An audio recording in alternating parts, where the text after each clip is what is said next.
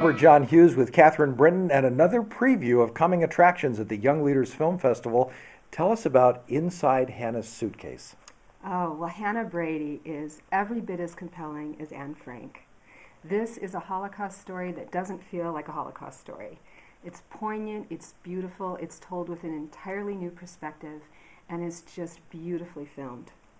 I love some of the techniques uh, in this film, and we're going to show you just a little bit. Uh, this is about a girl who died at Auschwitz back in the Holocaust, and how they recreated the, uh, her life from little scraps of archival film and some other special techniques. Let's watch. They were really curious to know who the owner was, but I couldn't answer any questions. All I could say was this is the suitcase that belonged to this girl named Hana Brady who was sent to Auschwitz. But I really wanted to make it a symbol of life, not of death of an unknown child.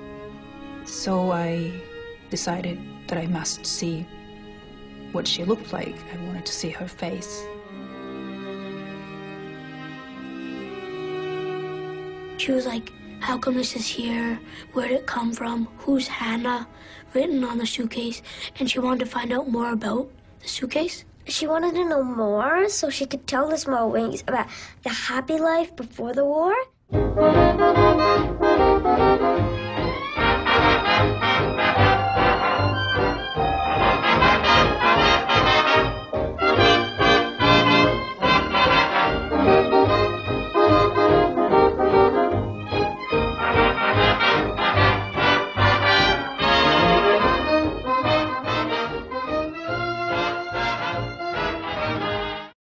Just a short preview of Inside Hana's Suitcase, one of the films at this year's Young Leaders Film Festival. And when can people see that?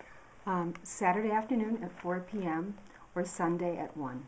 Okay, and you can get tickets at youngleadersfilmfestival.com.